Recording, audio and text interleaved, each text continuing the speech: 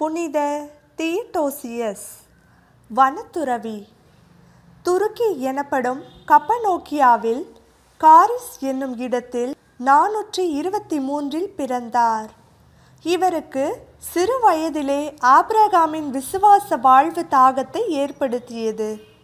அனைத்தையும் விட்டுவிட்டு கடவுளை பின்தொடர்ந்த தியட்டோசியஸ் எருசலேமிற்கு திருப்பயணியாக சென்றபொழுது புனித சைமன் ஸ்டைலைட் என்னும் துறவியை சந்தித்தார்.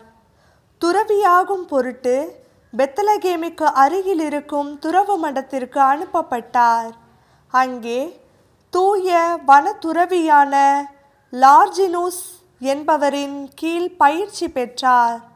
பயிற்சி முடிந்த தியட்டோசியஸ் எருசலேம் மற்றும் பெத்தலகேம் திருச்சபையின் தலைவராக நியமிக்கப்பட்டார். அந்த பொறுப்பு நிறைவு ஏற்பட்டதால் வனத்துறவி ஆக வேண்டும் என்று முடிவு செய்து யூதா பாலைவனத்திற்கு சென்றார்.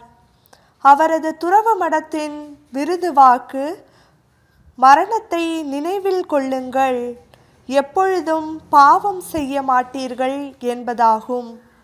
இறைவனிடம் ஜெபித்து நிறைய புதுமைகள் செய்தார்.